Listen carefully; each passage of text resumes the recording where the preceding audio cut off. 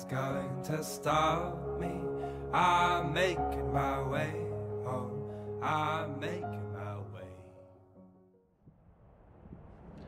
Hi Leute, ich bin Martin, ich bin 35 Jahre alt und wollte euch jetzt in diesem Video mal erzählen, wie man ein Jahr in Australien bleiben kann ohne dieses offizielle Working Holiday Visum, wenn man schon älter als 31 Jahre ist. Ich bin 35 Jahre alt, bin jetzt schon seit 10 Monaten hier unterwegs und erkläre euch jetzt in diesem Video, wie es funktioniert. Wir haben das in vier Schritte unterteilt. Im ersten sage ich was über das Visum, im zweiten sage ich was, so ein paar Tipps und Tricks zur Einreise, wie man am besten ähm, durch den Zoll kommt.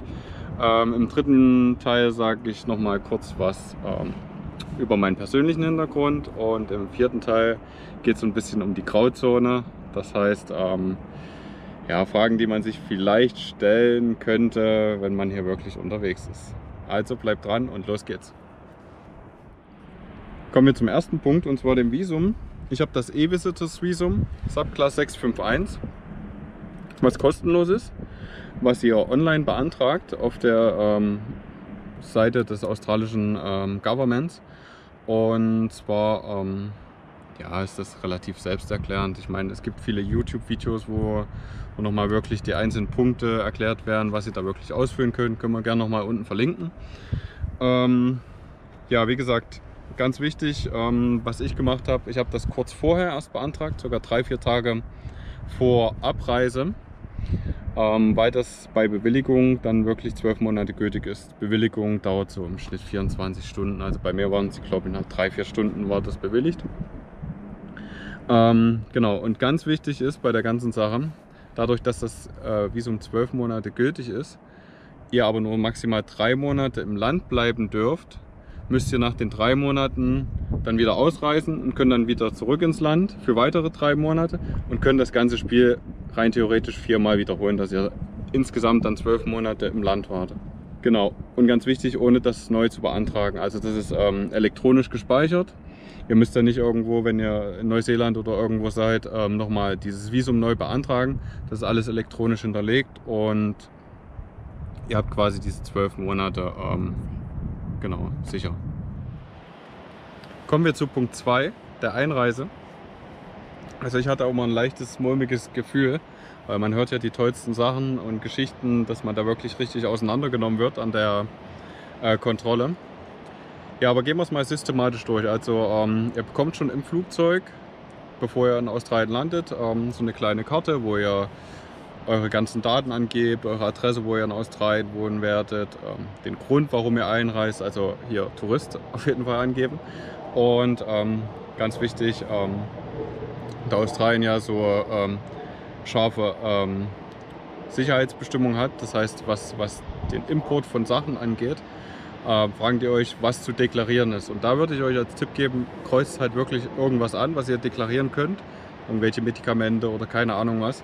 Weil das lenkt immer so ein bisschen von den ganzen Geschehen ab und ähm, ja, ja, äh, beschäftigt die erstmal wirklich den Fokus nur auf die zu deklarierenden Sachen zu lenken.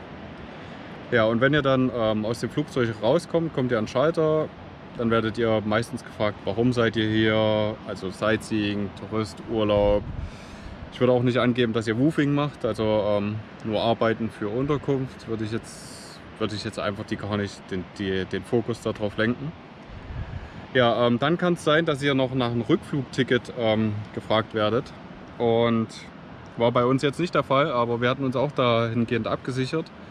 Und da könnt ihr, wenn ihr jetzt nicht wirklich einen Flug schon gebucht habt, weil das immer ein bisschen schwer zu planen ist, wo ist man in drei Monaten. Es gibt da zum Beispiel bei Expedia oder schaut dann einfach selbst mal im Internet. Ähm, also wir haben es bei Expedia gemacht, da konntest du ähm, schauen, was für Flüge innerhalb von 24 Stunden stornierbar sind und haben dann wirklich früh, äh, wo wir von Bali nach Australien zurückgeflogen sind, ähm, den Flug gebucht der in drei Monaten erst geht und haben das dann, wenn wir, wo wir wieder in Australien waren, storniert. Also haben dann wirklich keine Kosten gehabt und hatten halt einen reellen Flug, ja, der wirklich, ähm, wenn das nachgeprüft wird, kein Fake-Flug ist. Weil ich glaube, wenn das geprüft wird und auffliegt, dann habt ihr ein richtiges Problem, weil dann, ähm, ja, ich glaube, dann war es das mit eurer Einreise.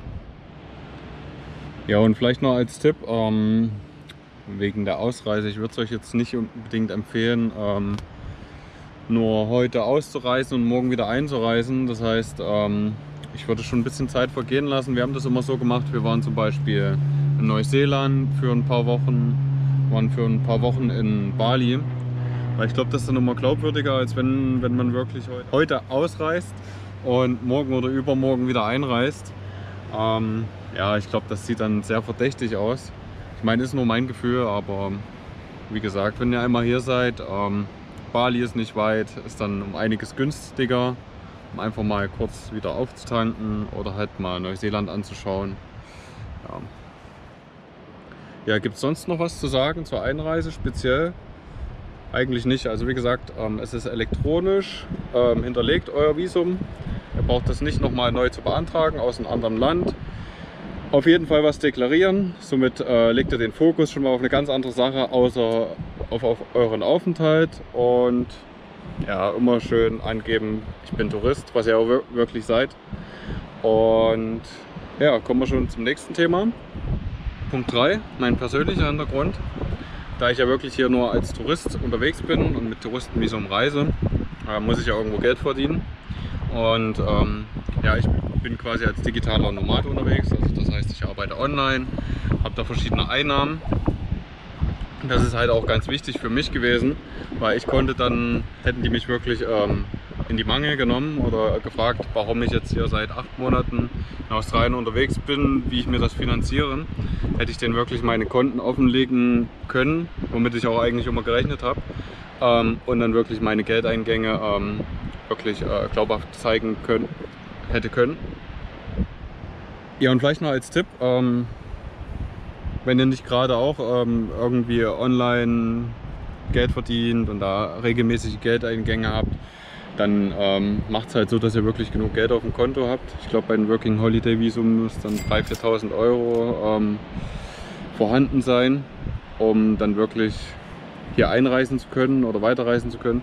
Und ja, deswegen schaut halt, dass ihr ähm, auch auf keinen Fall irgendwie ähm, Geldeingang von australischen Arbeitgeber oder sowas ähm, da habt. Ähm, wie gesagt, sichert euch da ein bisschen ab zeigt, dass ihr ähm, Geld habt und dass ihr ähm, das Geld auch so ein bisschen in dem Land lassen wollt und denke ich mal, dann seid ihr relativ safe. So, kurzer Stellungswechsel. Ähm, der Wind ist dann doch zu stark geworden. Ja, jetzt kommen wir zu Punkt 4 und zwar zu den Tipps und der Grauzone.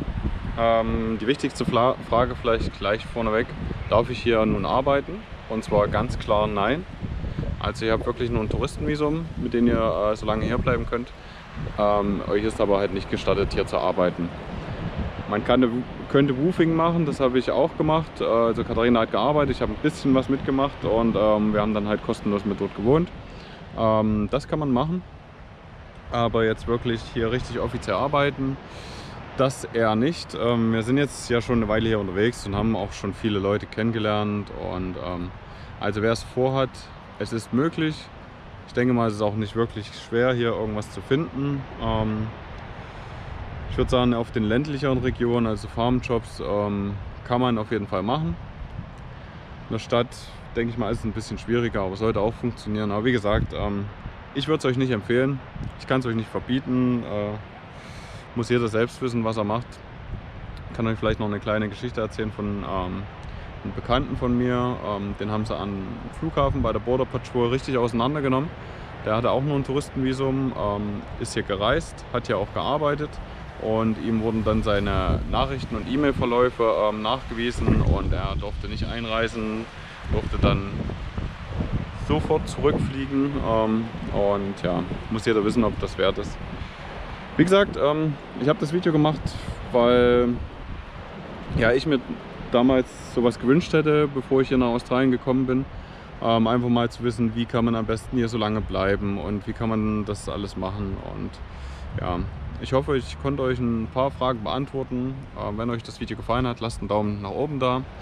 Schaut euch auch mal unsere anderen Videos an. Ähm, wie gesagt, wir sind ja schon eine ganze Weile hier unterwegs, haben schon einige Sachen gesehen und erlebt und haben auch coole Videos ähm, mit Tipps und Tricks, mit Autoumbau, und so weiter. Schaut es euch einfach an, genießt es und genießt auf jeden Fall eure Zeit hier in Australien.